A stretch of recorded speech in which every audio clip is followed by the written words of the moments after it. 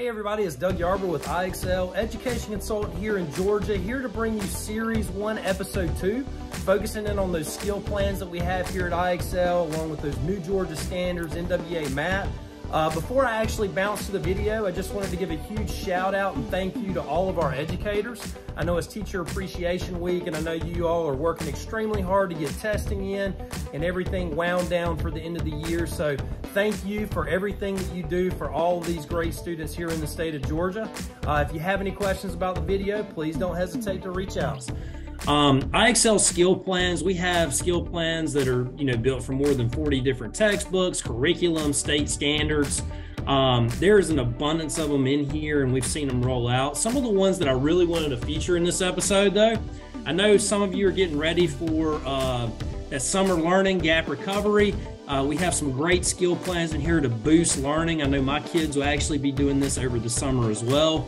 Um, down here is where we have our Georgia Standards of Excellence, along with those new K to 12 mathematics standards for K to 12. That's those new standards that are rolling out next year uh, for all you educators. So, really excited to already have that in the platform for you. And then just an abundance of different textbooks and curriculums that we have down here.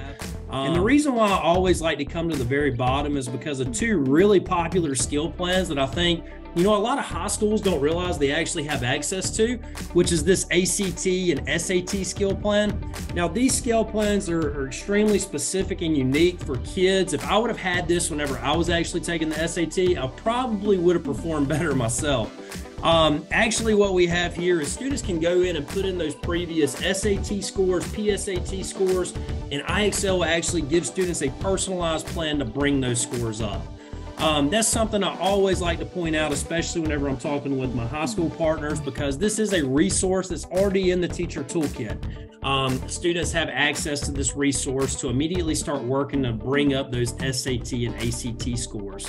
Another one that I want to point out, we we did um, we went and kind of presented on this at a MAP event not long ago, but our NWEA MAP growth plan, which is there, is based solely on RIT and also follows the same. Uh, same scope and sequence and structure of that map assessment. So we actually have a team that can, that can upload these scores for you. And as soon as that happens, the skill plan will instantly push out to all teachers and all students.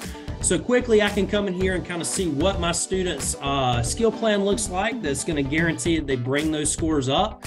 And then if I really wanted to check in and see exactly you know how this student was performing i could also click right there and immediately pop over to this uh, skill plan specific score chart that'll show me exactly how that student is performing, the number of questions they've answered on each skill, along with the amount of time spent and the last time that they actually went in there and practice.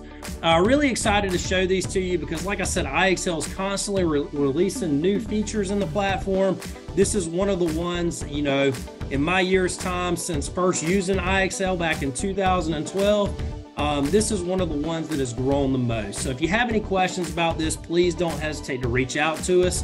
Don't forget to like and share, retweet uh, for your chance to also be entered into this video series raffle. I hope y'all have a great day.